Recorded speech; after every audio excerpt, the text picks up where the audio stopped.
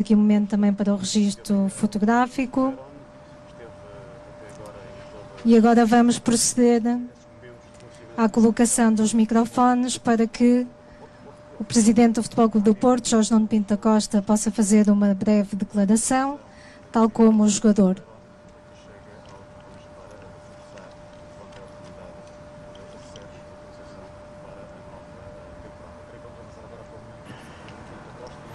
Muito boa tarde. Estamos aqui, como é óbvio já viram, para apresentar o nosso novo atleta, o Gabriel Leiron, que a partir deste momento estará integrado na nossa equipa e que, obviamente, temos muita esperança no futuro, no seu sucesso, que será o sucesso da nossa equipa e de todos. Venho integrar uma equipa campeã vai ser mais um a lutar por novos títulos, por isso aqui queria desejar as maiores felicidades e dar as boas-vindas. Obrigado. É, queria falar que eu estou muito feliz, estou me sentindo muito honrado de estar num clube tão grande quanto o Porto. É, eu acho que não, não teria uma oportunidade melhor e maior para mim nesse momento. É, agora estou me, sentindo, me sentindo em casa e queria dizer que eu quero representar todos os, os adeptos, todos os torcedores e que eu vou dar o meu melhor todos os dias sempre. Obrigado. Vamos agora dar a oportunidade aos senhores jornalistas para colocarem as suas próprias questões. Se calhar começamos já aqui com o José Miguel Soares do Porto Canal, de seguida vamos à Sport TV. Estão os dois disponíveis para questões, o senhor Presidente e o Gabriel. Boa, boa tarde aos dois, em direto para o Porto Canal e para a Futebol com o Porto TV. Perguntar, eh, antes de mais, ao, Gabriel como é que se sente por estar eh, aqui eh, no Futebol Clube do Porto, já no Estádio Dragão, a nova casa, e um atleta que já vem com o ritmo do jogo do Palmeiras, vai juntar-se aqui à equipa que está a preparar o arranque oficial. O que é que pode trazer o Gabriel para ajudar a equipa do Futebol Clube do Porto a revalidar o título de campeão? Boa tarde. Como eu falei, estou me sentindo extremamente feliz agora estou me sentindo em casa. É, o estádio é um estádio top. Espero poder logo logo já estar, entrar em campo e mostrar o que eu sei. Por isso que eu estou num clube tão gigante quanto o Porto. E estou me sentindo é, muito feliz, como eu falei. E agora é, é mostrar o que eu sei aqui para poder agregar a equipe do Porto.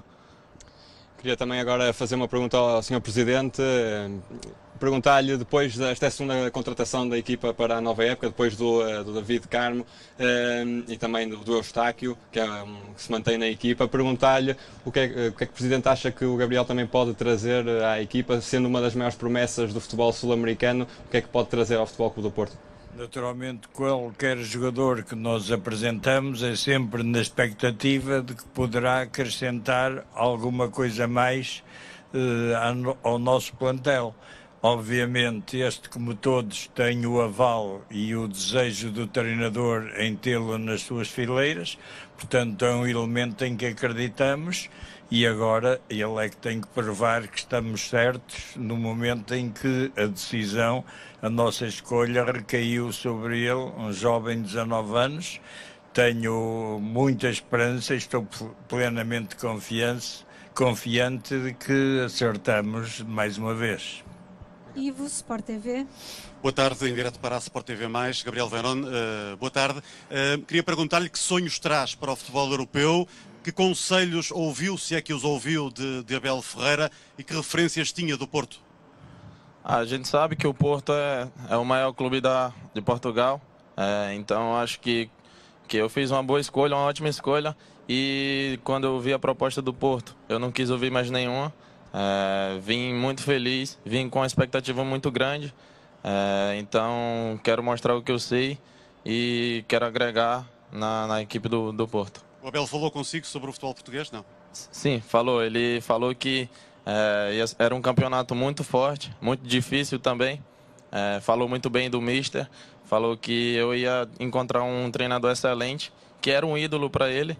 Então eu ouvi é, o que ele tinha para me falar é, e vou, vou pegar isso para poder me ajudar aqui e poder estar bem sempre.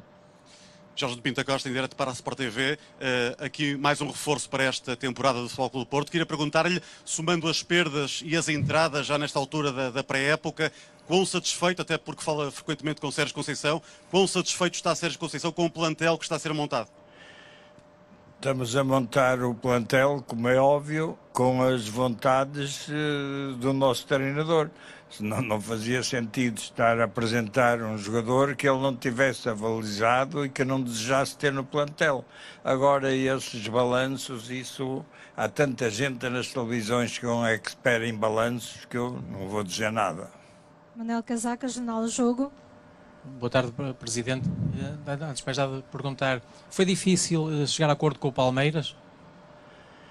Nunca é fácil, numa, nenhuma negociação, naturalmente, com jogadores eh, que têm um valor considerado alto pelo clube que os tem, são negociações sempre difíceis, mas foram, sobretudo, negociações sempre com grande lisura, com grande franqueza, cumprindo sempre a palavra dada, o que facilita eh, que as coisas se concretizem. Portanto, estamos muito felizes por ter conseguido trazer este jogador.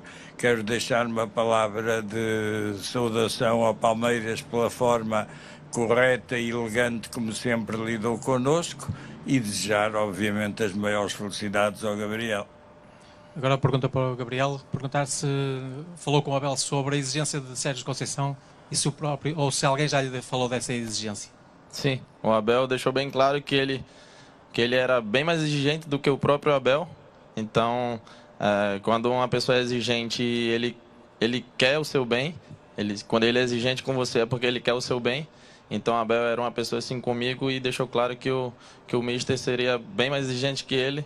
Eu acho que isso vai me ajudar não só dentro de campo, mas como um homem fora dele também. Dona Madal, Jornal de Notícias. Olá, olá Gabriel. Eh, eu queria perguntar o que é que acha que pode acrescentar a uma equipa que o próprio Presidente já disse que é campeã e em que posição é que gosta mais de jogar? Ah, eu, eu gosto mais de jogar de atacante e eu acho que o que vai mais me agregar aqui, é, a gente sabe que o Porto tem excelentes jogadores, é, eu sei que eu vou mais aprender do que ensinar porque eu sou, sou novo, mas eu estou aqui para dar o meu melhor todos os dias. Presidente, já agora, eh, portanto, esta é a segunda contratação do, do defesa. Uh, os adeptos do Futebol Porto podem esperar mais reforços uh, para os próximos dias? Não é isso que estamos aqui a tratar, nem é, nem os reforços são porque alguém espera ou não espera. Os reforços são porque o treinador entende necessários, porque estão ao nosso alcance concretizá-las, portanto eu não vou estar aqui a criar expectativas, porque nós temos muito respeito pelos eh, adeptos, não é muito, é muitíssimo. Não temos respeito nenhum por aqueles que dizem barbaridades sem saber do que falam, mas dirigimos o clube de dentro para fora e não de fora para dentro. Para terminar, temos a Filipa da SIC. Muito boa tarde, Presidente Jorge Nuno Pinto da Costa. Falou dos adeptos, daquilo que se vai falando, também já falou da expectativa que pode existir por parte dos adeptos para os jogadores que possam ainda integrar a equipa do Futebol Clube do Porto. Não, eu disse, eu não falei.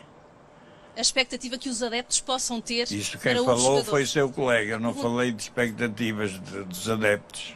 A pergunta que lhe coloco tem a ver com uh, os jogadores que já saíram, porque os adeptos também uh, gostavam de ouvir sobre os uh, jogadores que já saíram, nomeadamente nos últimos dias alguma polémica em torno da saída de Francisco Conceição e o valor que foi pago pela cláusula de rescisão. Eu volto-lhe a referir que não alimento polémicas o clube é dirigido de dentro para fora e não de fora para dentro, portanto, sobre isso é um assunto encerrado. Qualquer jogador que entre no nosso plantel ou que saia do nosso plantel é uma decisão comum dos jogadores, de nossa e do clube que os recebe ou do clube que os cede, portanto, não vou alimentar polémicas. Perguntar-lhe também, vossa... se possível, sobre a Para o Verão, agora uma pergunta? Não, era para o Presidente. Pode, para o pode. Já. Eh, Tem a ver com a iminente saída de Marchesino, se pode também confirmar essa saída por empréstimo para o Almeria e, e também os valores e o que esteve eh, na base desta, desta saída. Não, não lhe vou confirmar porque eu só falo de coisas concretas, não falo de rumores, nem o que se diz, nem o que os jornais possam dizer, porque se eu fosse responder pelos jogadores que, através da comunicação social, são postos no Futebol Clube do Porto e são postos como a sair do Futebol do Porto, eu não tinha tempo nem sequer para almoçar. Tá? Damos então por concluída esta apresentação. Bem-vindo mais uma vez, Verão, Termina toda a assim então felicidade aqui no a apresentação Clube do Porto. de Gabriel Verón como eh, novo jogador do. Futebol Clube do Porto, novo camisola 7, assina até 2027 e chega do Palmeiras.